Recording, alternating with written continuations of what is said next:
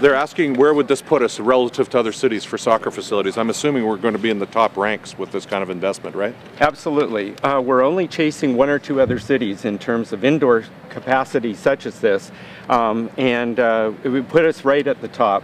Really sets us up for hosting the Women's World Soccer Championships, which are coming up in 2015. In fact, FIFA is here this afternoon to do a site inspection, which is great for, for Manitoba, but it really sets us up in terms of development. Uh, this last year we had two women on the Canadian national team, disproportionate to our population uh, on that team, and the growth of the sport here is so incredible. Uh, that these facilities only allow us to enhance that. So uh, this is a huge commitment and it's a huge bonus for, for the entire province.